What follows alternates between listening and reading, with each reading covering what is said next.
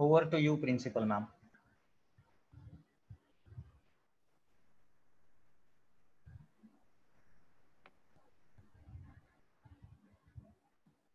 Jai Hind and a very good evening to viewers from DPS Varanasi, DPS Nasik, and DPS Nagpur.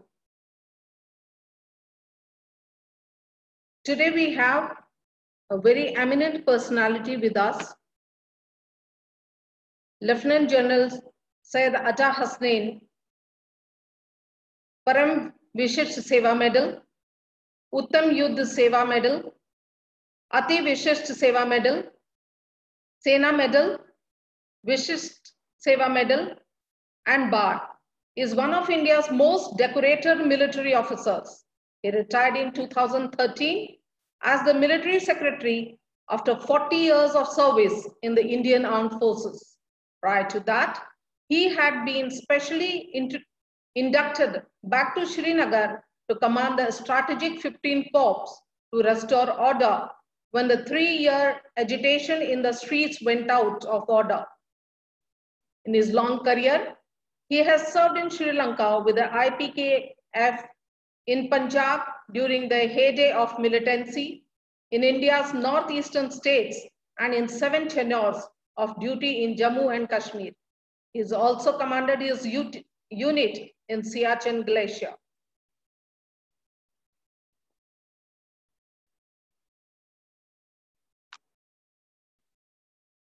Looking into today's scenario, I would like to start the webinar with a tribute to the martyred brave hearts. Those young men Jinping sent to fight, all delusional in their sight. They thought the year was 62, maybe they will just walk through. They called Santosh the guile unseen. He went unarmed, he thought them clean. They hit him hard and felt him down. Others fought, they killed him down. They came in with their steely knives of steel with nails and wire barbed, and clubs of wood that hit the head, all wrapped in hands, they hit us bad. Some that survived came back with tales that shook the core, but they did not wait. They promised to fight till their last breath. They must avenge their CEO's death. The cold, dark night they could not see. The charge they yet made the Chinese flee. They hit them hard with all they had, their will so strong to hurt them bad. The enemy knew not of the will of 16 Bihar, their strength to kill. The Chinese got a bloody nose. So many gone, some friends, some foes. Whose war is this? We all should think. Who got this matter to the brink? No soldier knew, but they fought. We haven't learned what history taught. The soldiers died, their kids are faint. Some wives lost all, yet no one gained. Why do we fight these bloody wars that leave such brutal, reeking scars? On this note, I welcome our eminent guest for the day, Lieutenant General Syed Atta Hasnain, who needs no introduction otherwise.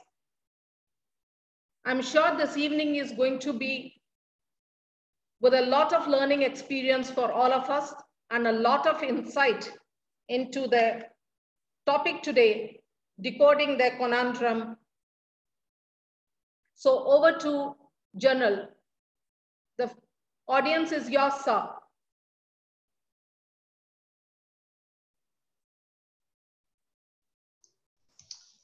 Good evening and Jai Hind. Thank you, ma'am. Thank you, Dr. Pushpita. Thank you so much. What a wonderful way that you introduced the subject and you introduced me. I'm extremely happy to be with you all. And I'm so glad that uh, your schools seem to be having all the right things in place. A webinar of this kind must start with the dedication to the brave hearts who gave up their lives so that all of us can live securely wherever we are in the rest of India. I'm so glad that you started with that because that just shows that there is a recognition, necessary recognition. And in the early stages of your life, in your education, you need to realize that there are people out there who are giving up their everything for you. You may not join the army tomorrow. Many of you may not join the armed forces tomorrow. But you should be aware of what the armed forces do for you. You should, your awareness, your overall going into the world, knowing exactly what happens on the borders of your nation makes you that much stronger in your will and your resolve to do well in life. So thank you very much. Let me start on that on that score. I hope I am audible to you clearly. Yes, sir. Thank you. Thank you very much. Now I do have a I do have a, a PowerPoint presentation which I made at the last minute because I did realize that this subject is very complex. And uh, to speak on it and make you try and understand this uh, will actually achieve no purpose if you don't get the, the maps into your mind and the inquisitiveness which you must have to go onto Google Images perhaps and search for maps and look for those very sites which I will be talking about. So I don't have too much time on my hands. I think this whole webinar is about one hour and we've already gone through seven minutes. I presume that we can continue till about 7.10, which will mean that I should talk about 40 minutes or so and uh, leave at least 20 minutes, 25 minutes for your collective questions to come together for clarifications or suggestions or anything you wish to have. Okay, so I'll start with maps. For about seven, eight minutes, I will start with a few maps to keep the interest levels high. And then I will go into one slide which I've made, uh, which summarizes the historical aspects of India's relations with China. And then I will speak about China's strategy against India today, why things have changed. Obviously, even as we are speaking, there are things happening in Ladakh.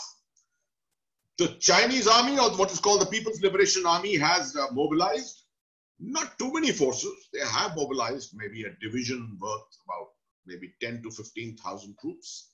Uh, the Indian army has mobilized uh, a very fairly large segment of the army into Ladakh, into Himachal Pradesh and Uttarakhand, into Sikkim and into Arunachal Pradesh. These are the areas where the problem generally exists. And the uh, People's Liberation Army is similarly also, uh, has also mobilized in front of those locations.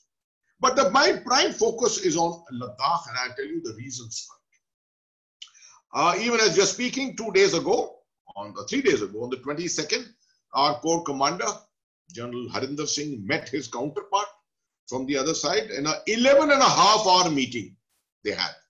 What were they discussing for 11 and a half hours? Obviously, they were looking at maps and they were convincing each other that you are right and I'm wrong and I'm right and you are wrong. Uh, and at the end of the day, uh, they came away with some agreement. But the very next day, you find tension has come, come back again. This is similarly, they happened on the 6th of June when they met.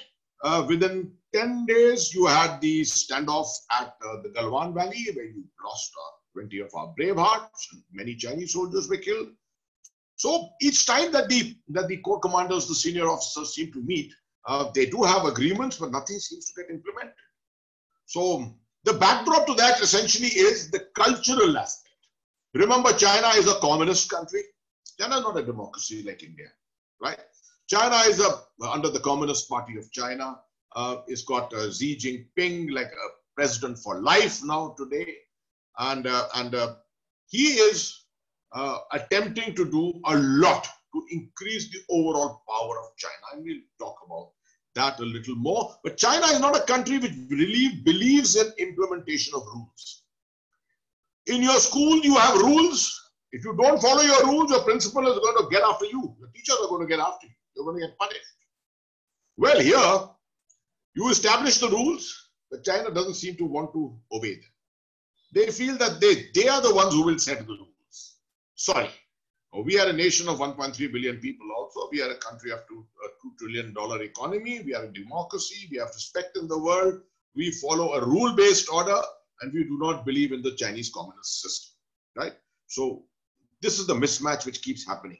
And the last two days, again, a lot of tension has come up uh, in Ladakh. So let me now straight away go to the PowerPoint uh, presentation and share that. Just a second. Uh, yeah, I have to go up on top and, and share screen here. Yeah. Share screen. Yeah, just a second.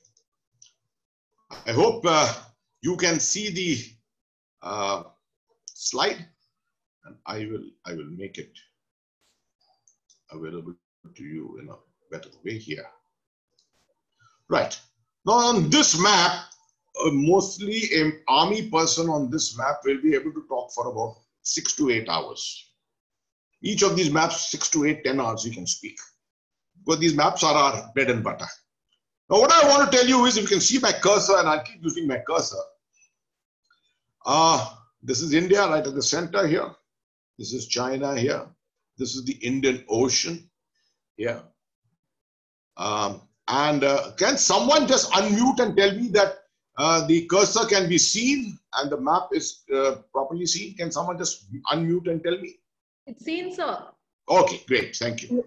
Right. So this is India. This is now this is this is Jammu and Kashmir. This is Jammu and Kashmir. What you're seeing with my cursor. I only want, and this is Pakistan. This is Pakistan. This is China. This is the South China Sea here. South China Sea. This is the eastern seaboard of China.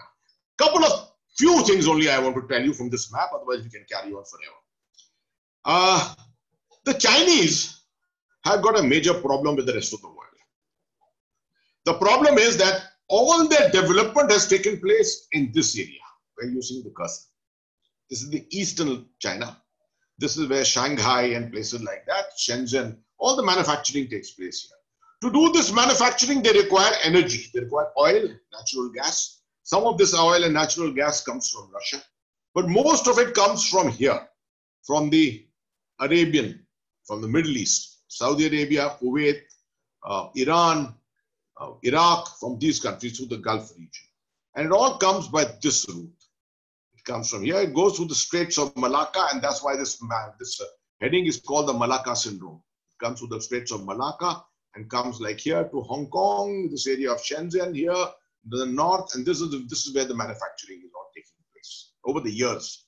And after the goods are finished, and China is today the hub of the supply chain of the world, it provides uh, spare parts, it provides mobiles, and all kinds of uh, cheap technological things and things like that. So toys, particularly, for example.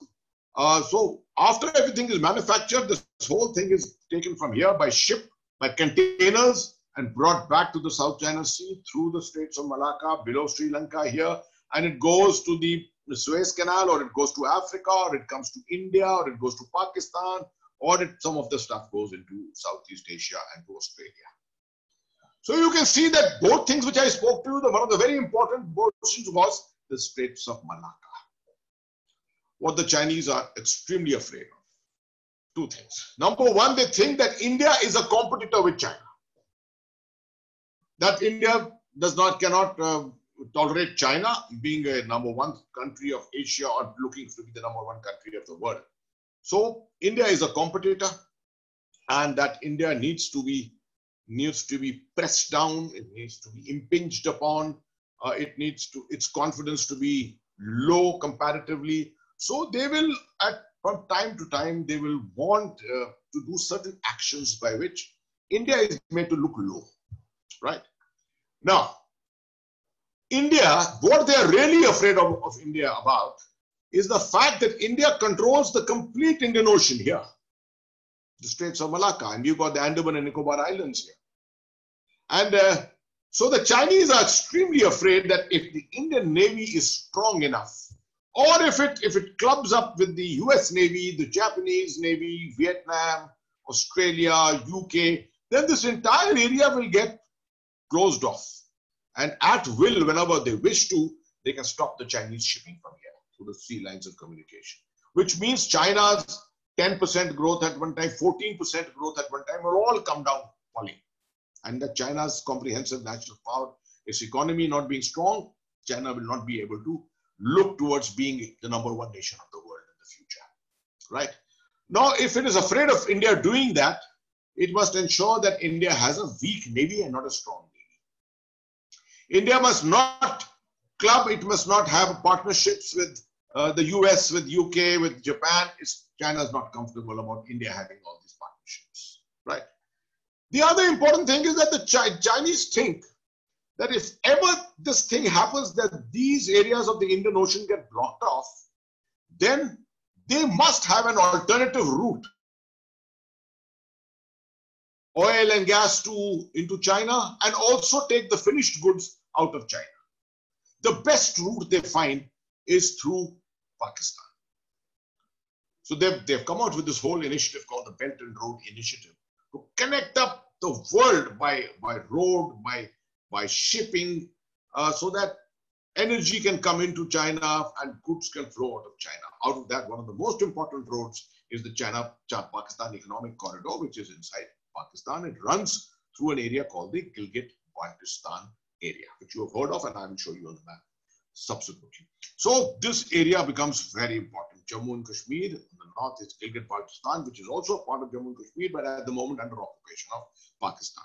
So this is the route from, um, from uh, Xinjiang via Gilgit-Baltistan over through this route from here to a port called Gwadar, and that's the port they have helped the Pakistanis to construct, right? Now, they want India to always keep looking here in the north. They want to keep our gaze here, our focus here, so that we don't look here. Our attention must not be here, where China's main weakness lies. Any nation which is making good strategy and good plans will always want to work to counter their own weakness and enhance their own strength. Their strength lies here. Their weakness lies here.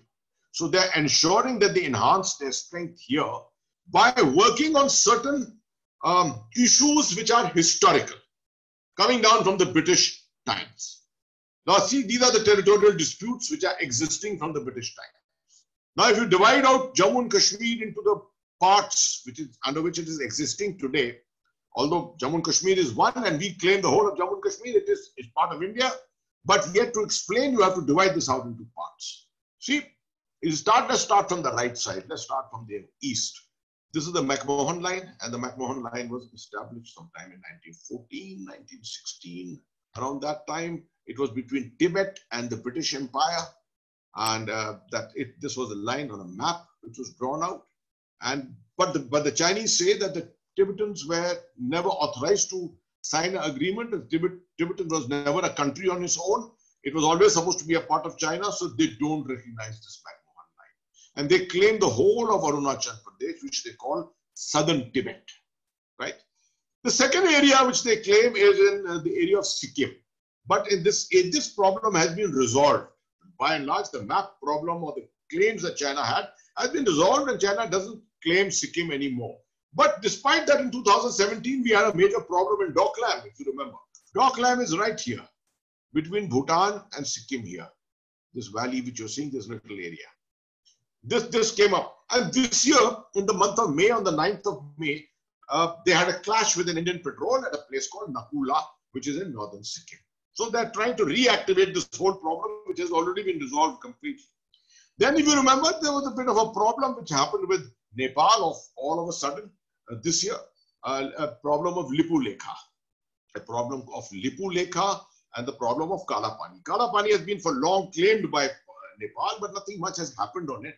Uh, Kalapani is a is a is a is an area of a spring where lots of water from the mountains comes and collects together. They claim that this entire water is there and India should have its map south of that. There is a bit of a little bit of a dispute. I mean, it can be it can be resolved. No one has really put attention to resolving it. But all of a sudden, why has this come up in 2020?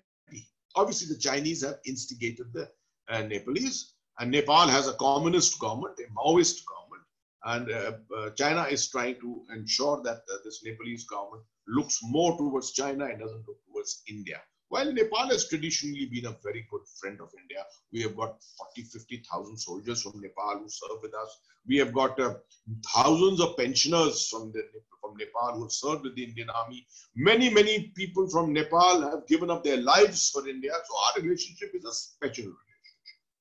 Okay. And then you have a bit of a problem in this area of Himachal Pradesh, in this area of Kaurik uh, in Himachal Pradesh. And then you have this major problem in the area of Aksai Chin here. And then this is the area which has been given by Pakistan to China, which is 5,000 square kilometers of territory. So you're seeing that one, two, three, four, five, six areas where China can keep doing something or the other to keep our gaze and attention on the northern borders. All of a sudden, why this suddenly happened in 2020? I will explain that separately. Right? So this is the broad, these are the broad areas where this problem has actually happened. Now, if you remember on the 5th of August last year, India abrogated Article 370 and we created two union territories. One was the union territory of Jammu and Kashmir. You can see here the Jammu region and the Kashmir region, and one large union territory of Ladakh, complete. Now, this includes the area of Pakistan occupied Kashmir, which is here, not marked, and the whole of Gilgit Baltistan, which is here, which is shown as part of Ladakh. So, today, legally, the Indian position is as per the 1994 resolution of the 22nd February resolution which was the joint resolution of both houses of parliament, the entire territory of Jammu and Kashmir, which consists of J&K here and Ladakh, including Gilgit-Baltistan and Pakistan-occupied Kashmir, all belongs to India. 5th of August, Article 370 was abrogated. These two things were done. This resolution goes back to 1994. So this is how our official map looks today. But then now you need to have an explanation of how the reality on the ground is. the reality on the ground is that this is this pink portion you're seeing here is Pakistan occupied Kashmir. It's a narrow area. This huge area is Gilgit Baltistan, through which the Indus River flows like this, right? And this area is what is Ladakh at the moment with us.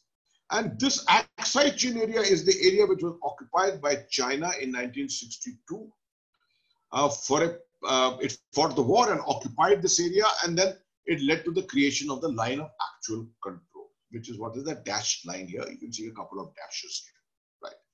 The reason why after after fighting the war in 1962, the Chinese withdrew, uh, withdrew in Arunachal Pradesh.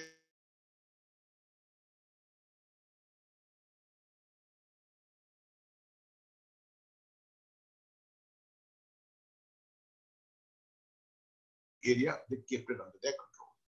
There's one reason why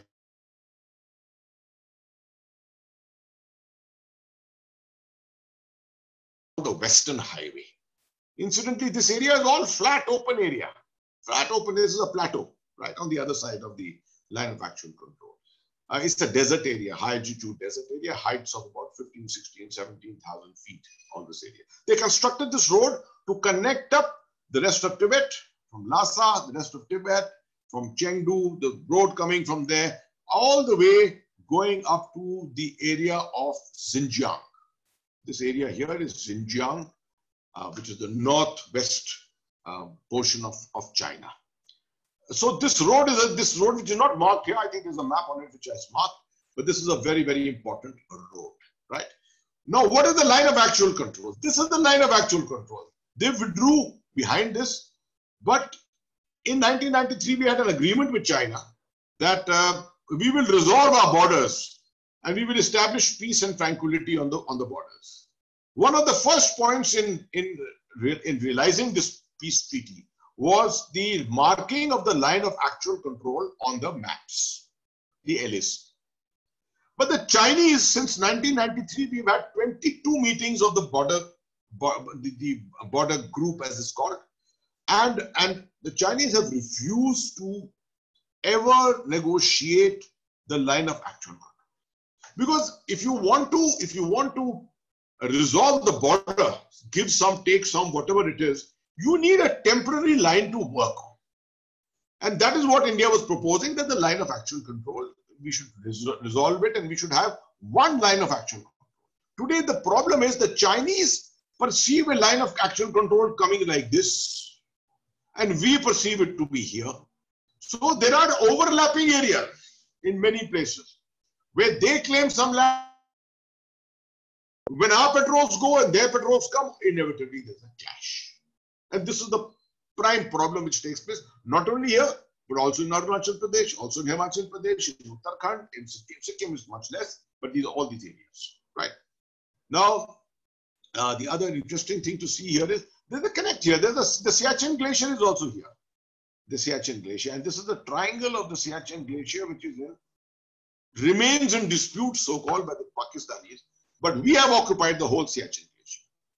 And uh, this is the source of a tremendous amount of fresh water to flow into the Indus through a valley called the Nubra Valley. And it flows into the, into the Indus here ultimately.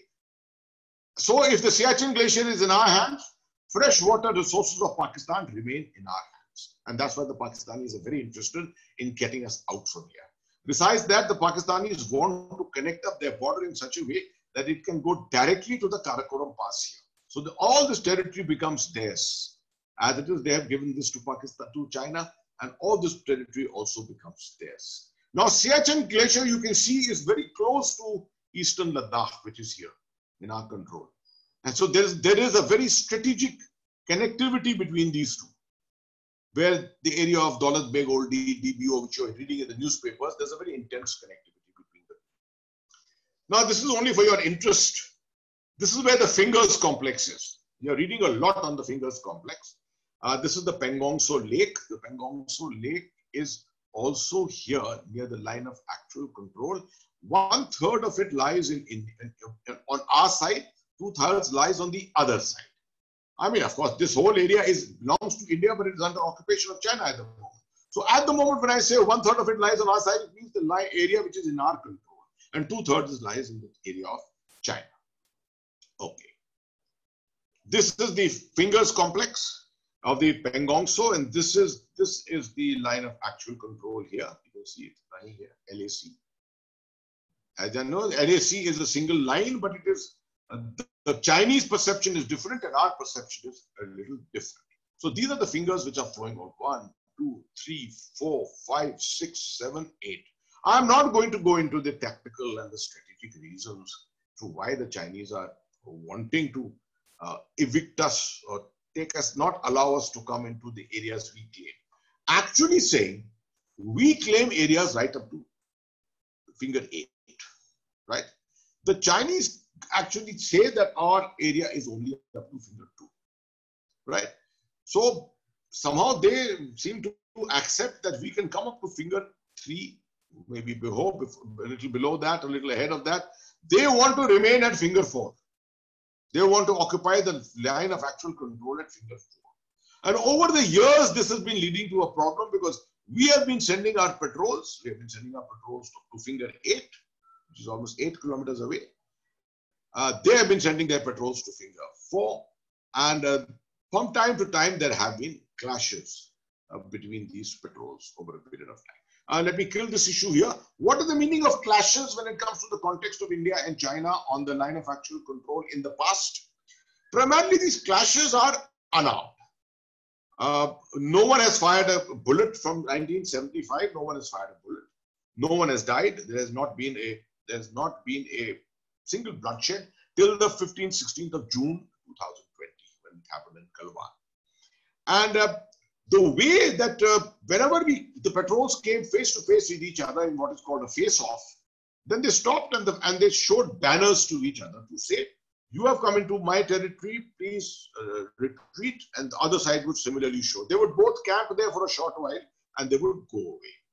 And then uh, the uh, both sides would try and leave some telltale signs by leaving a few biscuit wrappers, chocolate wrappers, tins of milk, etc. to say, or made in India um, items and the Chinese made in China items, leave them in those areas and to show that this area is ours. So there's a very benign way, a very gentlemanly way of, uh, of, of conducting themselves until this issue happened. After Doklam, suddenly things started changing. And we had a, we had the, for the first time after Doklam in this area, broad, broad area here on the, on the beaches here, we had a problem between the Chinese and the Indian patrols where thrown, stones were thrown at each other. And this year, on the 5th of June, that's where we had a very major um, battle of fists between fists and sticks and things like that. A lot of in, Indian soldiers were injured. The Chinese were also injured. And that finally led to what happened on the 15th, 16th of June. Okay. Now, this is the site of the clash uh, on the 16th of 15th, 16th of June. This is this is the Shyok River, very very important river, Shyok River, the Shyok River Valley. It ultimately goes into into Pakistan occupied Kashmir, or rather into Gilgit Baltistan. And this is the Galwan River, which comes and joins up here. This is the area of the estuary. This is the area of the estuary where today a lot of uh, a lot of satellite photographs are showing that there is some encampment here. No one is certain it is the Indian encampment or the Pakistani or, or rather the Chinese uh, encampment is not very certain. But this is the broad direction of the line of action control, and this is from, all from public from the public domain. So one can't be certain about it, but this is the broad uh, line of actual control. And they say this this is where the Chinese bulldozers were working on some kind of a project to divert the water from here uh, this is the place where the actual clash has taken place. And this side, there is a very strategic road which we have constructed. This road is called the Darbuk DBO Road, or it's called the Darbuk Shyok and DBO Road. DBO is Daulat Beg Oldi, which is a location northward up to here, so north from here.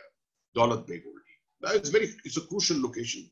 Daulat Beg Oldi on the Karakoram range. This is all the Karakoram and that on the Karakoram range and the Siachen Glacier um, and, uh, on the Saltoro or the other side of the Saltoro range between the Karakoram and Saltoro.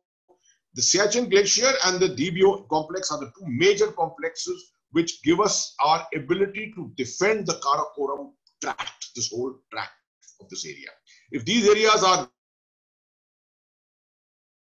stay around here, it will have to pull back substantially from this area. So I'll kill this point here. Now, a few issues of the historical context. You see, in 1949 to 1978, I'll cover it here very briefly. Uh, you had the Chinese Communist Revolution first. Then, uh, this you remember, 1949, China became completely communist, of course. And the annexation of Tibet took place in 1959, and the Dalai Lama had to flee from China, come to India. So the whole of Tibet became Chinese territory.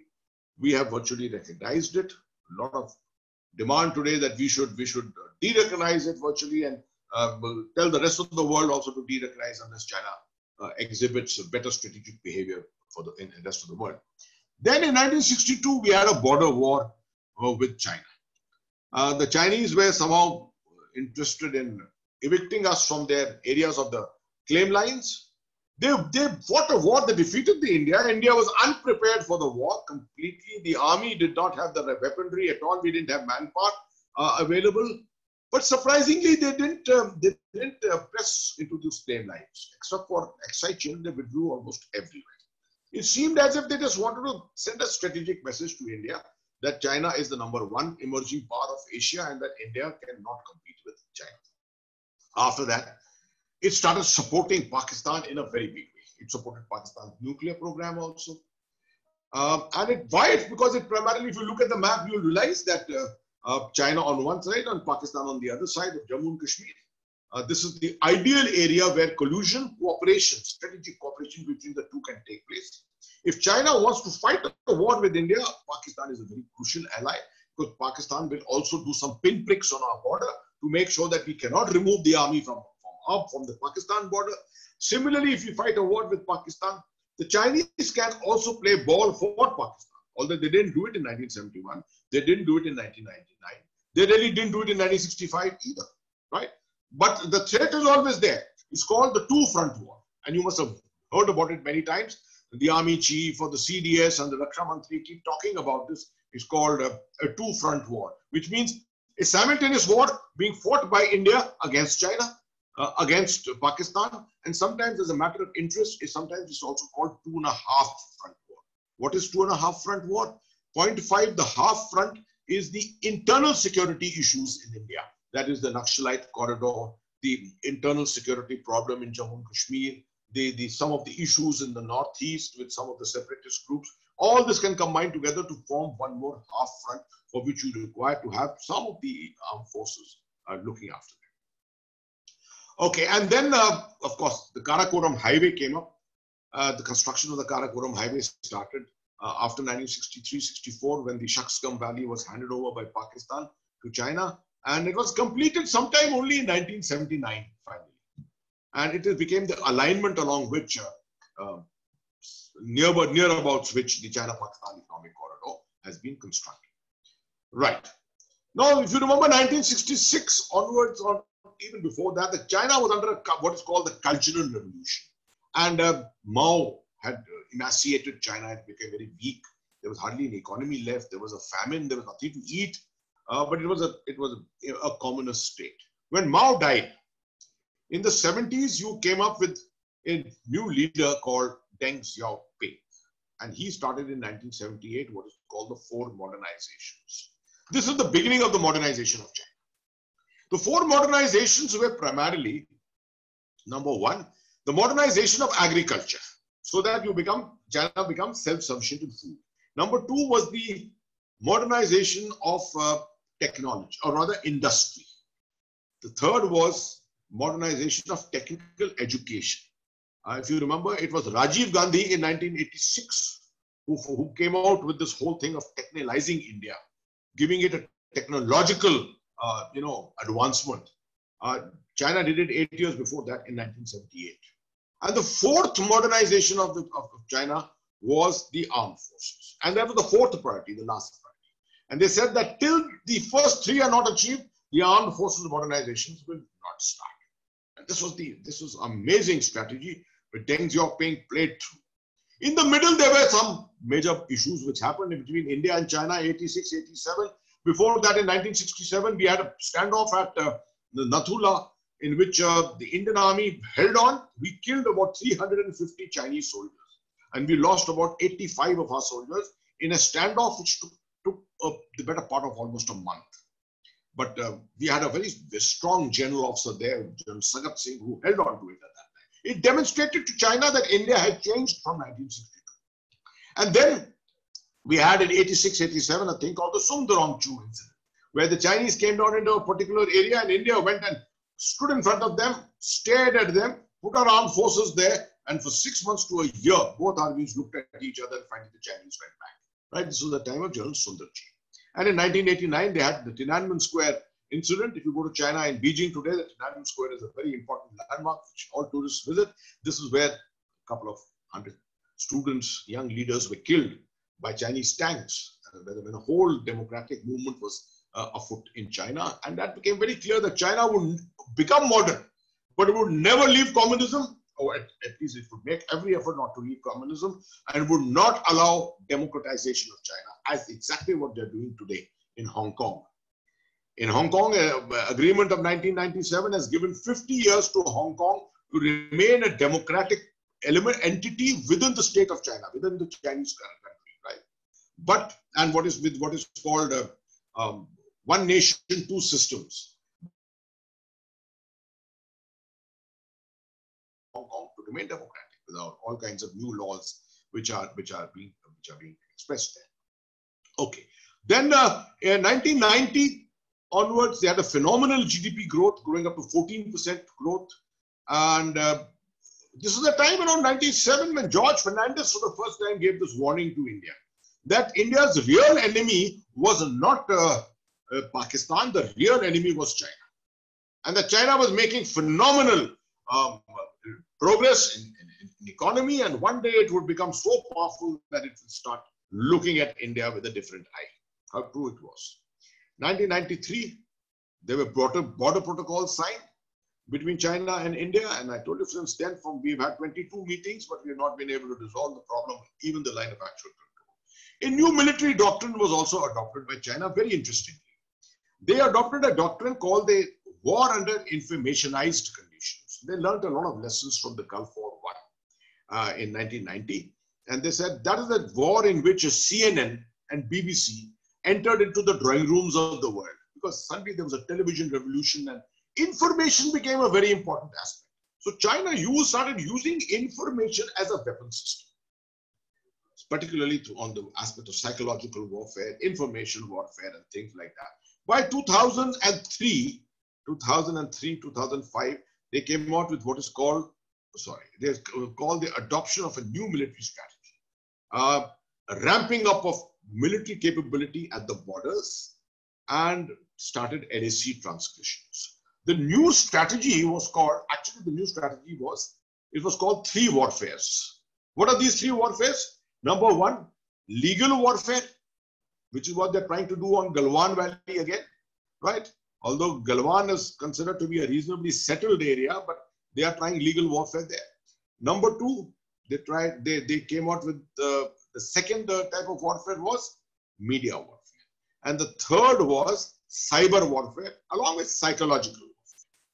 So this became the main, this has become the mainstay of China's strategy. And if you're if you are being noticing, if you're on social media, lots and lots of um, videos are floating around today. Chinese are showing themselves in the manner of how every Chinese soldier is as if he's 10 feet tall, 20 feet tall. Look at the capability of the manner he handles his weapon. See the technology that China has got. All that is being shown to India today, right? Uh, this is all part of information warfare. Don't worry about it. It will, uh, don't let it affect you. Enough with us. We are technologically reasonably well advanced, maybe not as advanced as China, um, our economy may not be as big as China today, but we are not in 1962. Just remember that we are not here in 1962. We are a confident nation which has grown and grown naturally and grown democratically. That's the most important. So from uh, about 2005 onwards, these LAC transgressions start in Ladakh. And this is the time that I, in my, in my analysis, I feel that this it dawned on the Chinese leadership that uh, they needed to keep India India's attention pegged to the northern Himalayas, to the Himalayan belt, and India must not pay attention to its navy, must not pay attention to its the maritime front at all.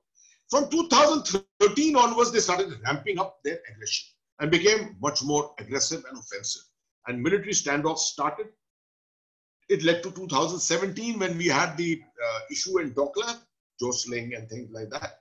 And somehow the Chinese, by pulling back in from Doklam in 2017, seem to have got a perception that the world is thinking that India got the better of them in Doklam.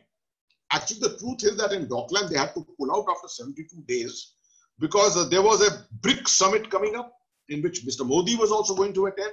And then there was the 19th Congress of the Communist Party of China, which takes place every five years. Uh, that was also coming up at that, at that particular time. So the Chinese withdrew. I mean, whatever happened. Uh, but Mr. Modi went to Wuhan and we established what is called the Wuhan spirit and the informal summits uh, concept started. And then Mr. Xi Jinping came to India. He came to, to Mahabalipuram in Chennai. And uh, there they had a meeting again. And we were hoping, we were thinking that uh, this is a good policy uh, where we have economic cooperation with, uh, with China. After all, economic cooperation with China is a good thing for India, although the trade uh, balance is in favor of China to a substantial degree. But uh, yet we could get some of the technology from them, some of major parts could come in, and some of our manufacturing could depend on, on the parts which were being manufactured reasonably cheaply uh, in, in, in, in China. But uh, we also felt that uh, these border standoffs, these border issues could be put on the back burner and we could first build up our relationship, our economic and our social relationship together so that at a certain later stage it becomes much easier once we are more friendly, when we are more dependent on each other economically, it will become easier to resolve the, the border issues. But the Chinese obviously have got different ideas. So what is the Chinese? What China has is definitely feeling is that India has does not its potential of India is still unrealized. That India can be a very very powerful nation. Mr. Modi had announced a five trillion dollar economy, the aim of making this economy by 2024. Of course, COVID-19 has come and probably put some impediment uh, in that. Hopefully, we'll be able to overcome this in the near future.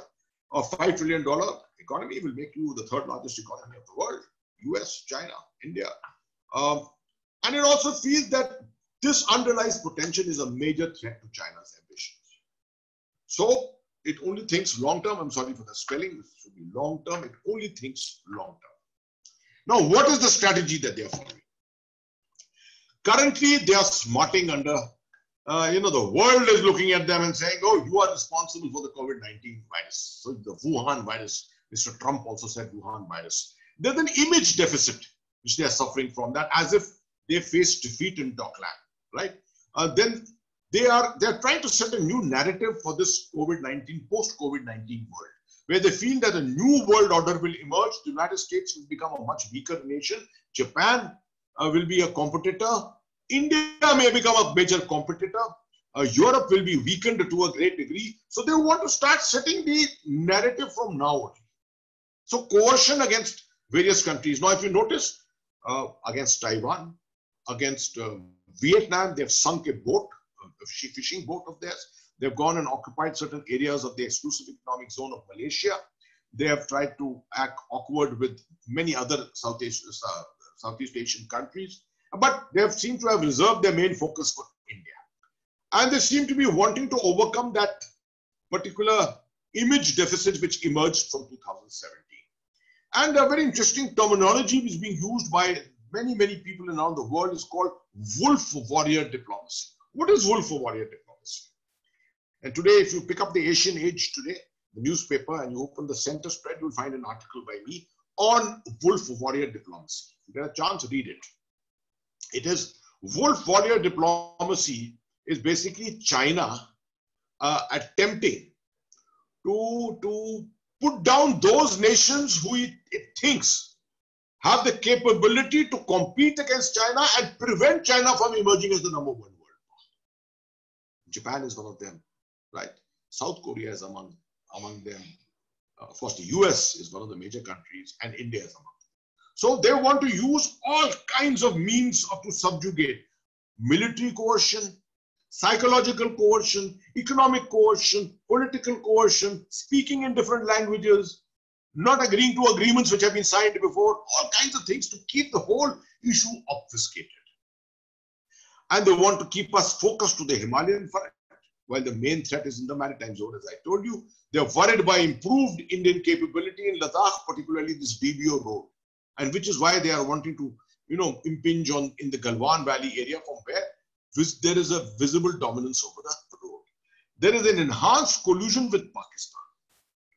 And they feel that India, by declaring uh, Article, by removing Article 370 and declaring the whole of Jammu and Kashmir as part of India, including Aksai and also laying further claims to say that they will get back Gilgit Baltistan and get back POK, they seem to be think they're perceiving that China, India is getting strategically too confident and will pose a threat to China in the in the in the coming years. So they again with Pakistan, they're looking at collusion with Pakistan. So far, nothing. Pakistan has done nothing in this whole crisis in Ladakh. But we are we are at the very early stages of this crisis because I think this is a long-term crisis and this will continue for quite some time. And lastly, it won't resolve the LAC, nor will it delineate it. Because by resolving the LAC, then the border problem is virtually look you start looking at uh, resolving the overall border problem. But if the LAC remains fuzzy, right, the undemarcated, then the same issue of patrol clashes and this, that will continue. And that's what China wants to do. So uh, I will uh, stop this here, but I will continue on some other aspects. Uh, let me just put this part here. I'll just remove this. Yeah. I will stop share and continue to speak. Right. Now, uh, let me come back to a few other issues before I stop in the two, three minutes. In this entire affair, is India alone? India has got a lot of friends. We have got a very good standing in the world uh, overall. Um, one of the major reasons why the Chinese are doing this is they fear that India has got too close to the United States. And that uh, they want to warn us that if you become a part of partnerships, then you will have to suffer, right?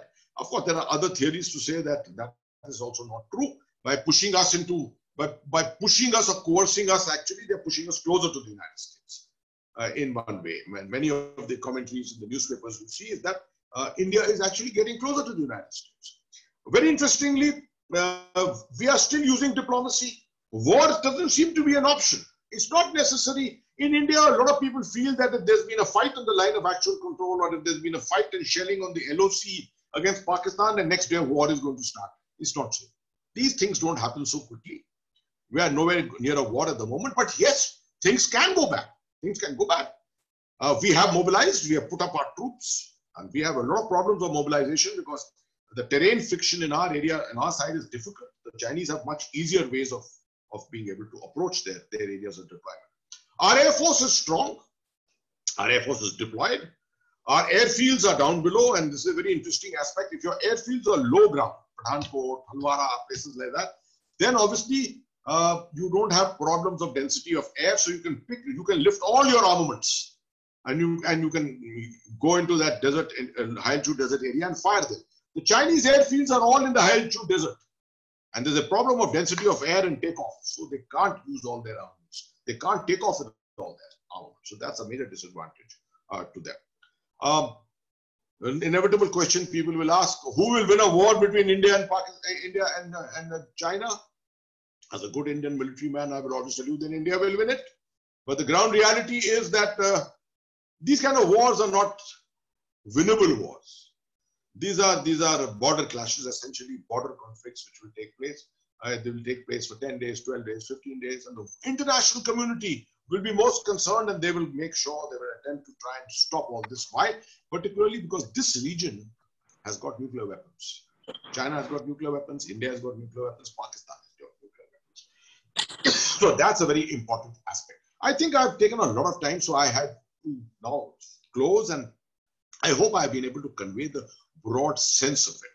What you need to just remember is India is capable today to hold its own.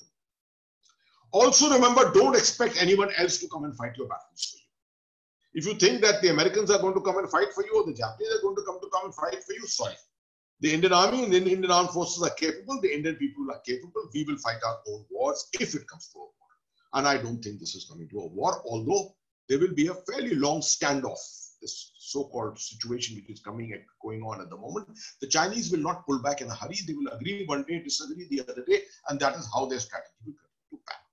Thank you very much. I will stop there and, and I'll wait for questions.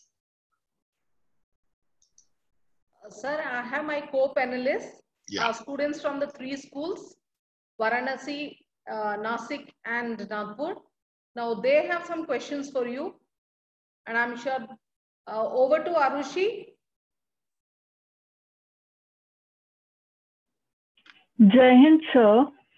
Uh, sir, I just wanted to ask that if China tries to breach the treaty that was signed for the borders once again, then what will be the actions taken against China by the UN and by India?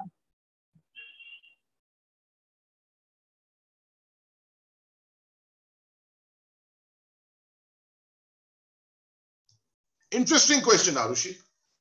Uh, but if you remember, I alluded to this issue in the middle of my talk when I said China is not a country which believes in a rule-based order.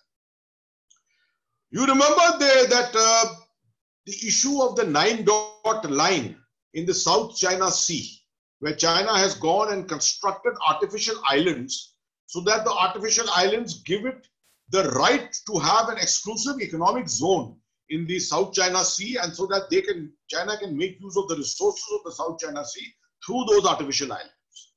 Now, uh, the Philippines objected to it, the Vietnamese have objected to it, lots of countries have objected to the Philippines, took them to the International Court of Justice. And after a lot of uh, give and take there, the International Court of Justice ruled against China. Has China implemented that? No. They don't, they are not a rule-based uh, nation. And they are militarily strong, they are a nuclear power, not yet a very strong naval power, but they, they, they and economically they are strong.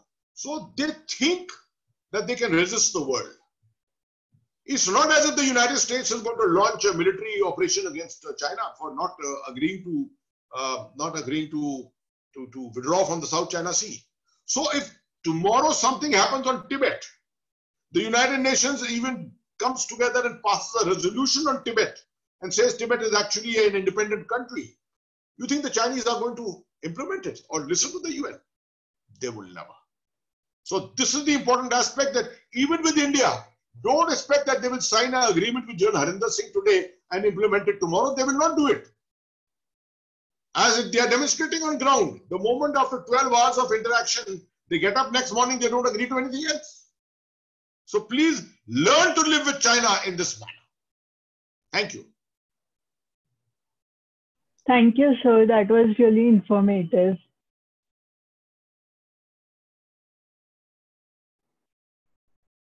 Arushi, go ahead and ask your question. Jen, sir, so you're indeed very energetic.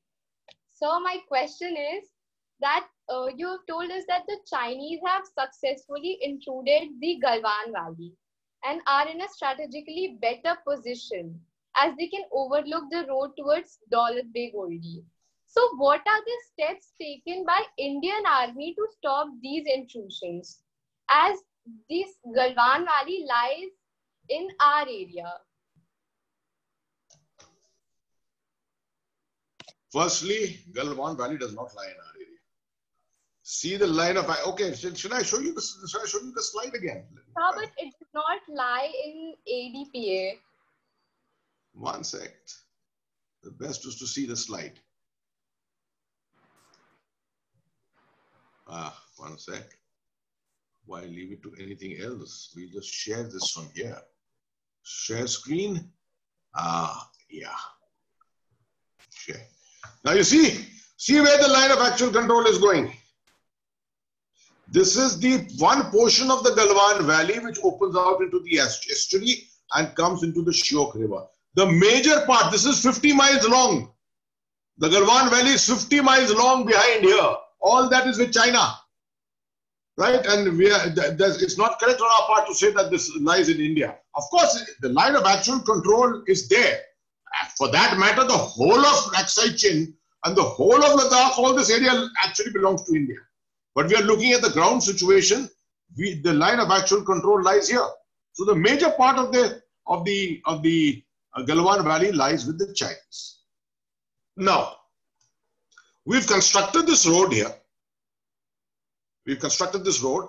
The Chinese have got limited areas here where they can get observation. And that's exactly what we have objected to. And that's the one of the major reasons why uh, Colonel Santosh Babu actually went with his 40 men to make sure that there was no construction of a post anywhere on this, right? Now, uh, um, uh, if push comes to shove and the Chinese continue insisting that they're going to construct something here, this I think is a major trigger, and it will lead to it will lead to a more serious standoff. It is not going to be acceptable to India to do that, right? Uh, but also remember that uh, we have our capability we, we've got enough deployment of manpower here. We've got artillery guns behind. We've got air power available with us. It's not that two men sitting here or 20 men sitting here with some uh, guns located behind can stop all our traffic moving on this road. They tried it in Kargil also, if you remember, but they couldn't, they couldn't stop us at that time. So uh, I don't think, besides the Chinese have come with a clear intent that they are they are trying to push us around, they're trying to bully us around, right? And you know the good old principle in any school, the school bully has to be bullied back, right? Always has to be bullied back. When you bully back a bully, he will cow down himself. So I think the, the, the Indian stance and strategy is absolutely correct. We are, we are not we are not provoking anyone. We are not triggering anything. But if you if the Chinese insist on doing what they did or did that day, or they do it in the future, then they've got something coming to them. Yeah.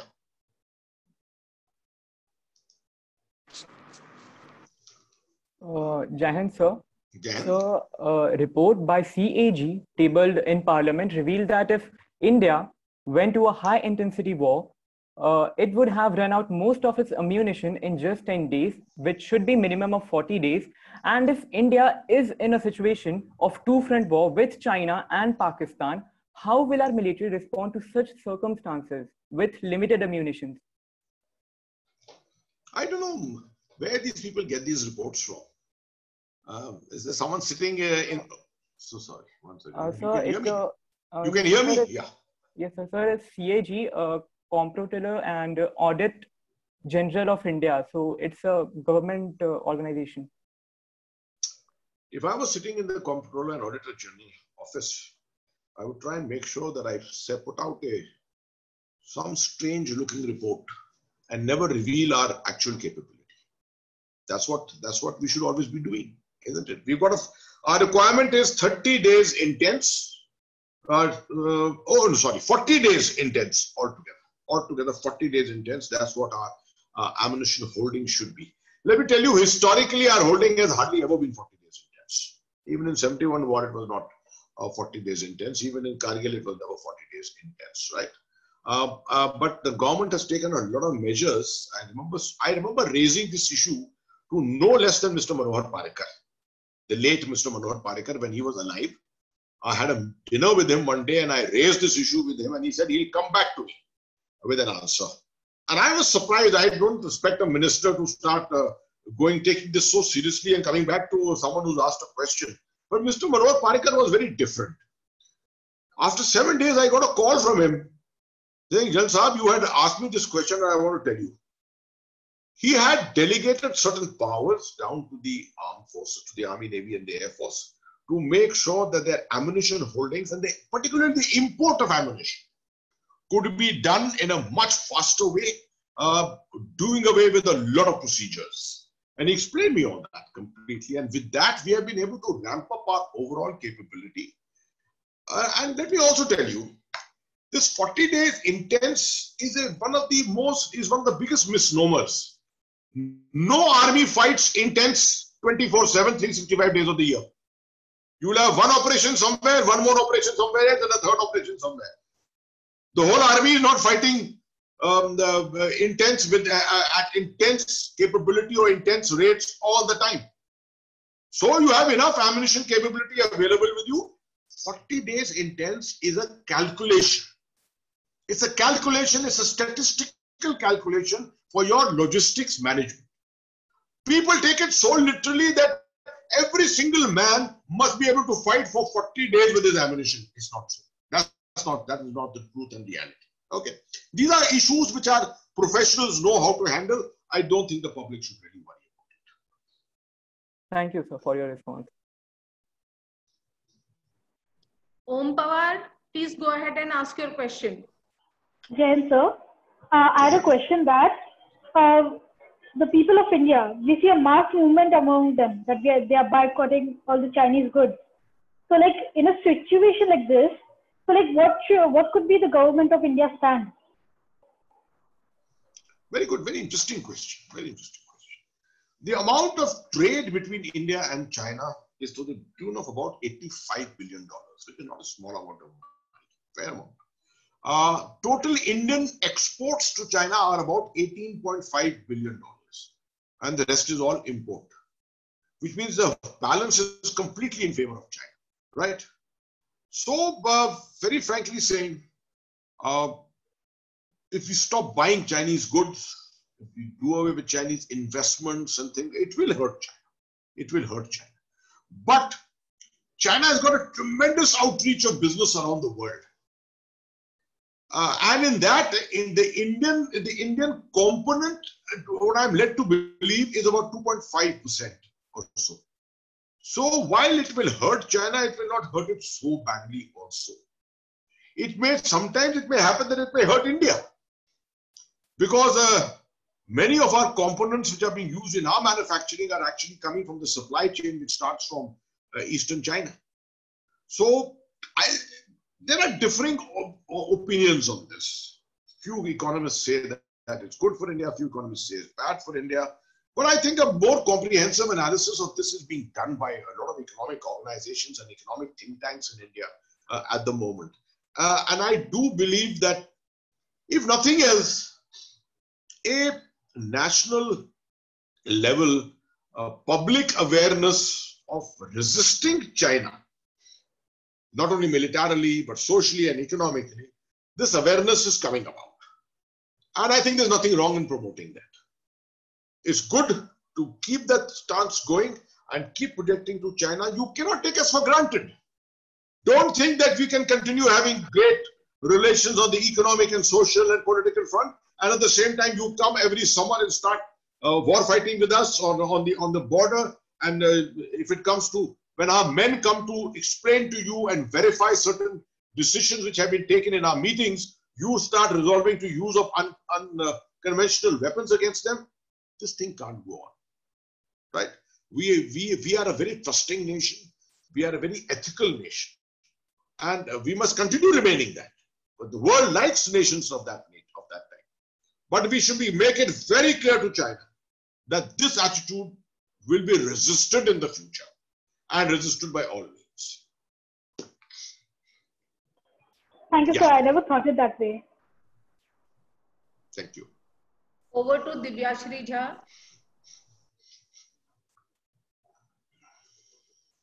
Jai Hind, sir.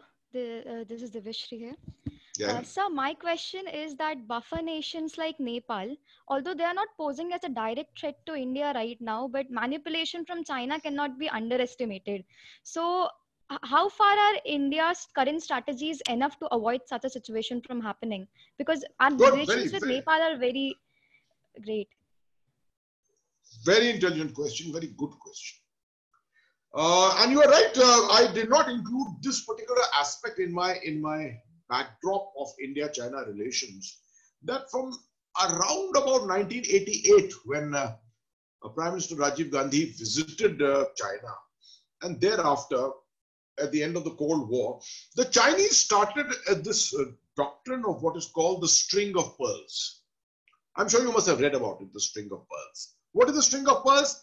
Essentially, countries like Sri Lanka, uh, Myanmar, Bangladesh, uh, Maldives, Seychelles, Pakistan, Nepal, Bhutan has been, of course, one of our very close allies. Uh, these, these nations must all, the Chinese felt these nations must all be beholden to China. So that India's strategic neighborhood, it does not look towards India, but looks to China. So this is one of the one of the uh, principal um, uh, aspects of the strategy of uh, the new the maritime Silk Route, also the new Silk Route or the Belt and Road Initiative, the BRI, to link up all these countries, do good for them economically. Hambantota port in Sri Lanka, uh, they attempted to get a port in, uh, in, in Maldives. They're trying to do the same in Myanmar and Bangladesh. They're constructing a port there. And uh, Similarly with Nepal, somehow um, we've had a hot and cold relationship with most of our most of our neighborhood. We've done extremely well with our um, extended neighborhood, Southeast Asia, ASEAN, with the, with the Middle East. We've had excellent relations with the Middle East. You've seen um, how even on the 5th of August decisions, most of the countries of the Middle East did not side with Pakistan, they sided with us. So the, uh, the, the extended areas are far, far better managed by us. Somehow, there has been a slight failing in our ability to manage our immediate neighborhood. Or historically, the current government has made a lot of effort after initial um, bit of hiccups here and there, but we have recovered very well. We've recovered on Sri Lanka. We have recovered Bangladesh. We've got excellent relationship. We've got a very good relationship going with Maldives, with Myanmar. it's Nepal. And that is what is surprising. That a buffer state like Nepal, which is such an important state, how come? One of the issues which is there is definitely the fact that this Maoist government is there. And we have not done enough to perhaps reach out to them.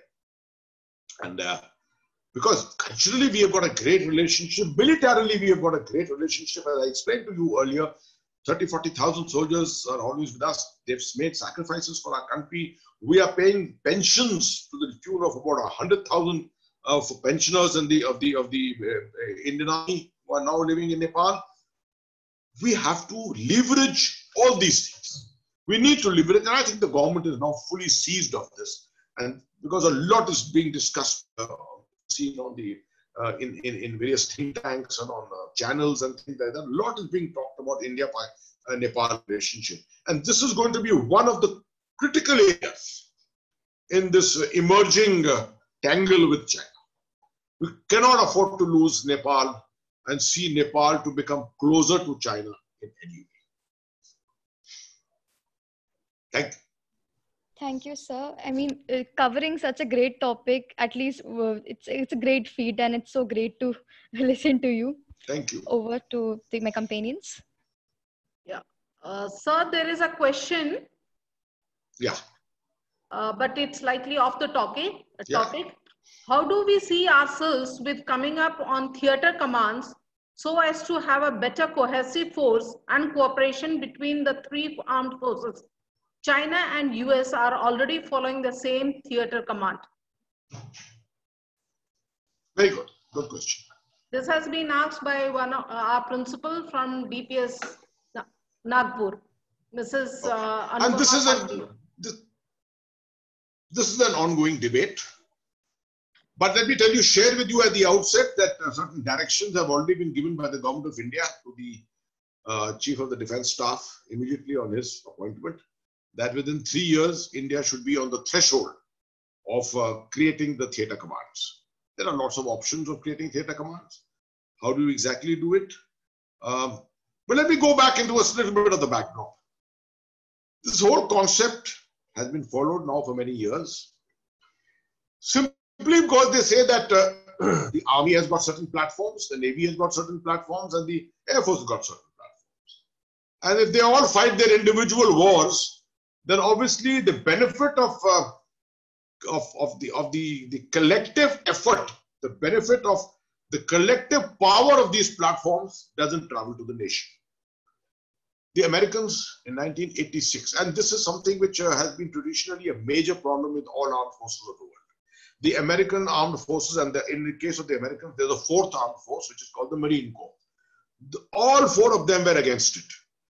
and it is after the failure in Iran, attempted rescue of the hostages in Iran in 1979, and then the failed Grenada uh, invasion in 1983, that finally President Reagan forced it down the throat of the armed forces.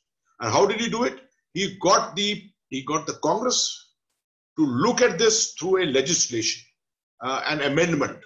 Uh, it was called the it was called the Goldwater Nichols Act, the Goldwater Nichols Act of 1986, under which the theater commands came up. now, the American system is classic. The theater commanders do not report to any uh, army chief or even to the chairman chiefs of staff committee. They report directly to the president of America. They are four-star rank. They promote, they report to the defense secretary and then on to the president. So the chiefs of staff committee and the chairman chiefs of staff committee cannot give directions to the theater commander at the Pacific Command that you will do this operationally. Operationally, only the defense secretary and the president can give them orders. Right? You have then you have the headquarters, the army headquarters, the so-called the, the joint headquarters, and you have a chairman, joint chiefs of staff, who is uh, well in their case also a four-star, but uh, he is the first among equals. And so you also have a chief of the Marines and chief of the Army and chief of the Navy and the Air Force. The chief of the Army there has no powers of the over the Army. His, he is a chief of staff, not the chief of the Army, not the chief of the Army. He's the chief of the chief of staff. And he looks at training, he looks at he looks at logistics, he looks at manpower, human resources, he looks at uh, doctrine and all things like that. Okay, but he takes no operational decision. Now, can this can this this uh, uh, model uh, be transposed and brought to India and immediately put into the Indian model? I say no, it can't. You can't do that. The Chinese have got a different, slightly different model. They've converted their seven, uh, you know, commands into into five theaters. We in India have got an acute problem. We've got a total of 17 commands. That's the Army, Navy, and Air Force put together have got 17 commands. And we're trying to get them into to come together to have approximately three or four theaters. Uh, interestingly, one theater could be the Northern Theater, for example, um, or the Western Theater. So everything from uh, Jammu and Kashmir West coming down to Punjab is a Western Theater. And uh, it will be primarily the Army and the Air Force uh, jointly there. Then you can have a Southern Theater in which you have the whole of Rajasthan, Gujarat, and you have the Maharashtra coast and areas like that, that becomes a theater. So you have the Navy, Army, and the Air Force together in that, right? So these models are all being looked at and examined in different ways. You already got one theatre command, and that is uh, the Andaman and Nicobar command, which is uh, located in Port, at Port Blair. That's the first joint command. Theatre, it is virtually a theatre command, right? So let's see how we progress in our study of this whole thing. Uh, the only problem is that the current threat, the Chinese threat, um, collusive Pakistani threat, is uh, acting upon us, is right on us. And in the midst of these threats, to try and do something premature like, like trying to create theatre commands, etc., to my mind is not a very, very good decision. Because you need to give this system time to, to mature. You know, we're having uh, the integrated battle group concept and things like that. All kinds of things are being tried out. But then we are in the midst of now uh, a situation which was really not anticipated, in which the Chinese have suddenly gone very bolshy. They're getting very pushy and uh, bullish in their whole attitude. The Pakistanis are, probably going to join them in trying to do these things. So, uh, in the midst of this, should we be experimenting? Or should we stick around to the current systems and probably hope that through better connectivity, through, through better systems and things like that, that jointness or level of jointness will be achieved. Yeah.